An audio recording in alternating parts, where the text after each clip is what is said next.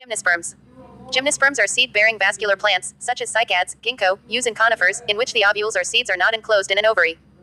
The word, gymnosperm, comes from the Greek word gymnospermos, meaning naked seeds. Characteristics of gymnosperms. They do not produce flowers. Seeds are not formed inside a fruit. Ellipsis. They are found in colder regions where snowfall occurs. They develop needle-like leaves. They are perennial or woody, forming trees or bushes. They are not differentiated into ovary, style and stigma. Importance of gymnosperms. Gymnosperms are economically important as they are a good source of food. The seeds of gymnosperms are widely used as edible varieties of staple food.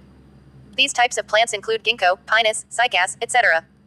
Gymnosperms are also important sources of starch and are used in the production of sago. Example: Pinus. Pinus. Life cycle of gymnosperms. The life cycle of a gymnosperm begins on a mature sporophyte plant.